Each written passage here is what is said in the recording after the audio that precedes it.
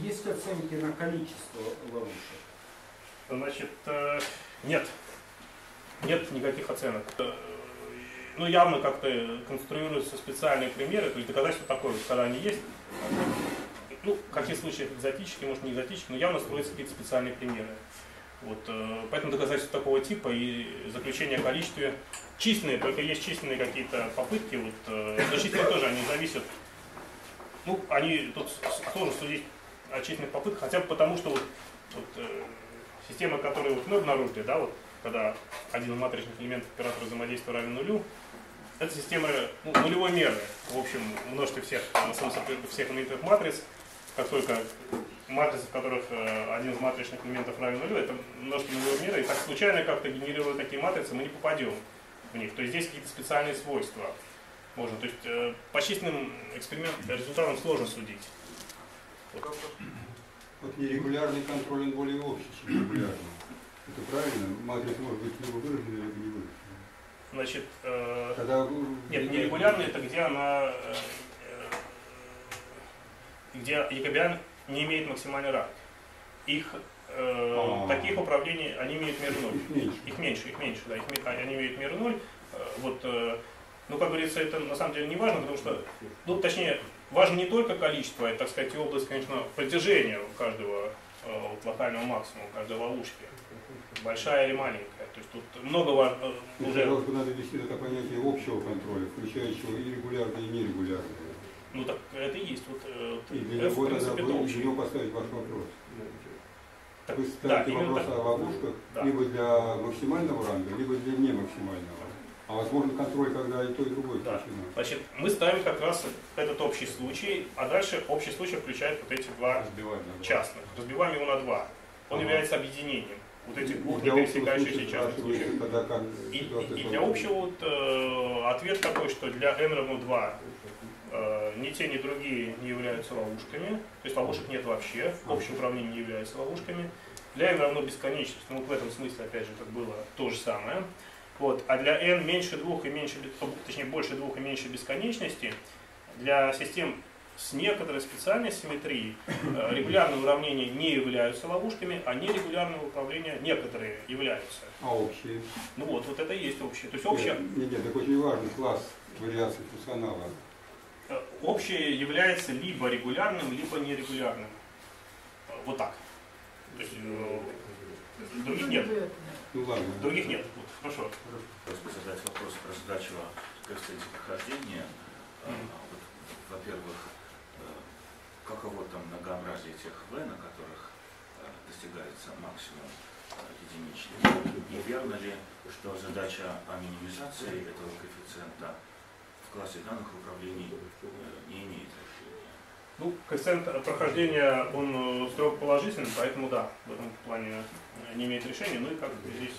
Ну, собственно, это видно даже вот из э, той функции, где, э, э, где коэффициент прохождения как функция оператора Мавлани написан, там даже видно, можно понять, что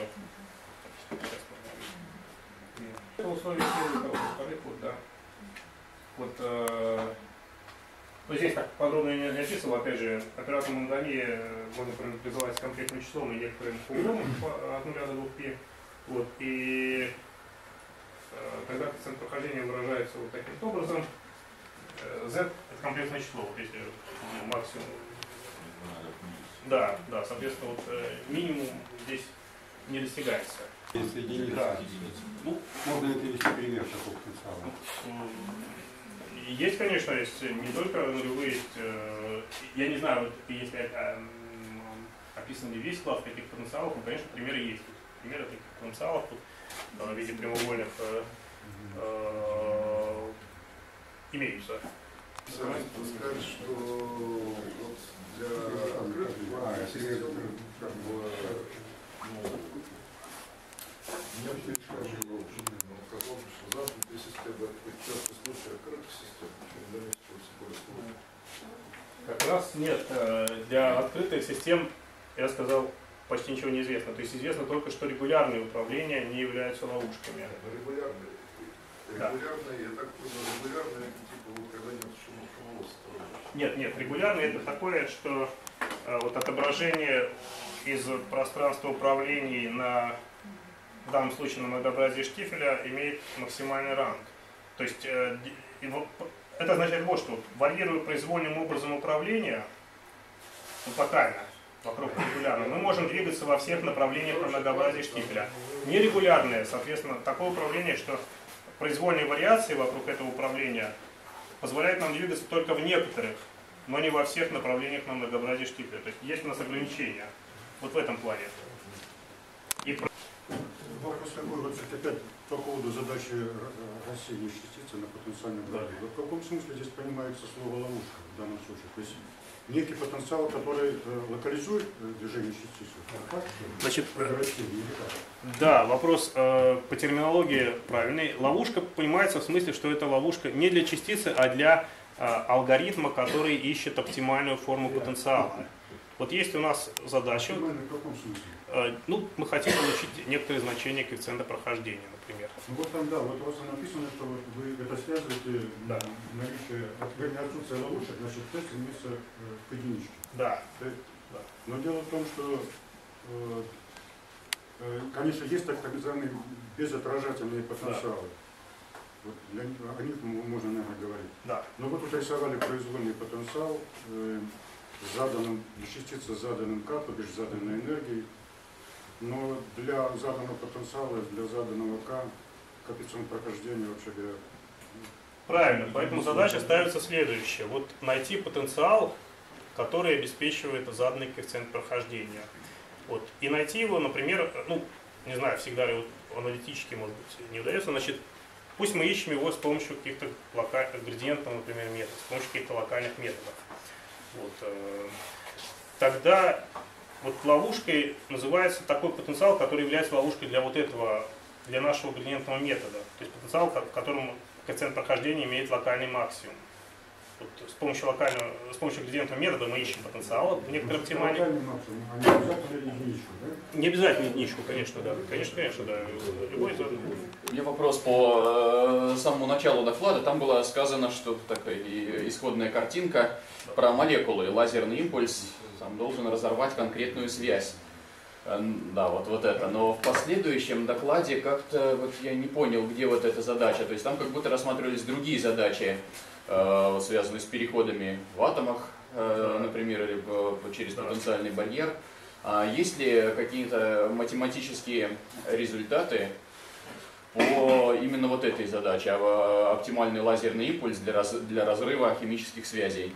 Ну, Или это где-то было в докладе, но- Да, да, да. Значит, в докладе, может быть, действительно так не обсуждалось, но, собственно, другие примеры тоже не обсуждались, вот так физически. Вот. э, Ну, такую задачу можно ставить, если вот определить проектор на состояние с э, разорванной химической связью, и он, фактически, вот этот наблюдаемый, будет вот этим проектором. Вот проблема в том, что гибридное пространство в этом смысле, в этом случае оно довольно большое. То есть если ограничено порядка 10, пи- 10 в пятой, 10 в шестой степени вот раз, n, размерность гибридного пространства. А так вот формально можно вот определить. То есть это, э, вот этот проектор, ОО это проектор на состояние с разорванной заданной конкретной химической связью, и тогда вот у нас получится вот ровно такая задача. А можно так, вот наивный вопрос. Вот каждая связь имеет ну, какую-то свою энергию э, связи. То есть, грубо говоря, почему бы не послать импульс соответствующей частоты, равной энергии вот именно той связи, которую надо разорвать. То есть остальные не поглотят, значит, вот соответствующий фотон, а вот именно вот эта связь там поглотит и разорвется. То есть вот так наивно можно ли решить эту задачу? Да. Да, ну это для, для про- простых случаев можно, но здесь такая, конечно, очень э, упрощенная картинка, где, конечно, для сложных молекул это, так сказать, э, подобрать, э, как правило, не удается. А почему? То есть не, неизвестная энергия связи или там в чем для сложных молекул проблема? Наверное, конкретную связь не удается идентифицировать. Ну, Ну, может быть, э, ну, сложно, да, сложно, ну, скажем, они близкие, да, по энергии, да, например, некоторые связи близкие по энергии. И найти просто экспериментально найти энергию довольно сложно вот этого разрыва Нет, связи. ну, это я не знаю, может быть, это не сложно, я тут не готов сказать, что можно сложно нет, но, скажем, они близкие, вот есть связи близкие по энергии, да, Ну, тогда просто более, более тщательно подобрать импульс. Если мы знаем, что там есть близкие связи, просто более тщательно... э, Ну вот, э, не удается, в импульсе опять же есть шумы всякие посторонние, вот, э, поэтому подобрать не удается.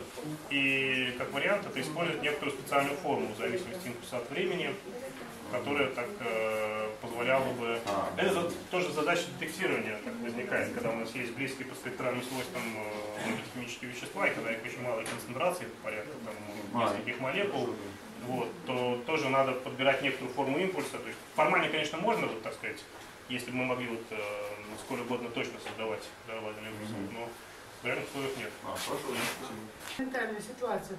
Здесь действительно речь идет о том, что бомбится одна молекула или бомбится несколько Нет, в молекул. колбе, в колбе это все бомбится. Что? То есть в колбе это много. Колбы, а, это- то есть это э, Ну, я какой тоже я сказал, вероятностный сам по себе это вероятность, процесс. да, вероятностный процесс, То есть да, и много как этих неиндивидуальных. Это не индивидуально, да, это ансамбли, если это все в колбе, это в растворе. И, ну, экспериментальные результаты здесь не очень хорошие, прям так скажу, то есть э, далеки до 100%.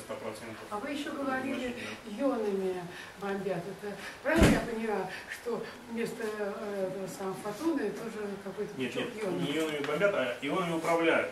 То есть вместо А, молекул и- у нас ионы, и переходы есть некоторые. В Ионы смысле, ловушки, вместо скажем. фотона ион Нет, берут? это вместо вот этой штуки. ион бомбят? Ой, да. Какой? Вместо, вот этой штуки А вместо этой То есть штуки другая, другая задача. Есть А, ионы понятно. в ловушке в каком-то потенциале, там есть некоторые энергетические спектры, и вот управлять переходами а, вот, э, в этом спектре. Это другая задача. А энергия вообще какого порядка? Тут, как, э, сколько, несколько электронов вольт или вообще какие пички? Не помните? Нет, э, я не то, что не помню, э, я, знаю, что бывают разные, вплоть до того, что вот э, есть работы, где, э, например, э, X-Ray используют X-Ray лазеры, гамма-лазеры, вот, по крайней мере, те- теоретически, экспериментально. Вот у группы Ольги Кочаровской есть, например, такая в Техасе, которая использует управление для возбуждения ядерных переходов, например. Ну, какие у них там э, экспериментально, э, не знаю. Ну, планируют и, вот, опять же, не помню мощности, вот строятся сейчас довольно таких мощные лазеры, которые тоже планируют здесь вот использовать для возбуждения ядерных переходов. Э, Есть теоретические работы, да, которые пытаются, так сказать, да, это, рассматривать их применение для э, возбуждения ядерных переходов. В квантовке в свое время рассматривались такие вот темные состояния, с этими работами вообще по остановке света там, и, и- и- и так далее. Это вот э, явно не совсем то, что ловушки, но похоже, что это может быть связано, что типа что нас э, си- система поймана в таком состоянии и не выводит с внешними возбуждениями с него. Это может быть иметь это, а, отношение и к ловушкам в вот этого самого вот, э, э, да, вашего определения. Но это тогда, конечно, имеет отношение вот, э, как, как раз к тому сложному случаю, который не, не было размора. То есть когда у нас э, открытая система и нерегулярная э, контроль. Мгм.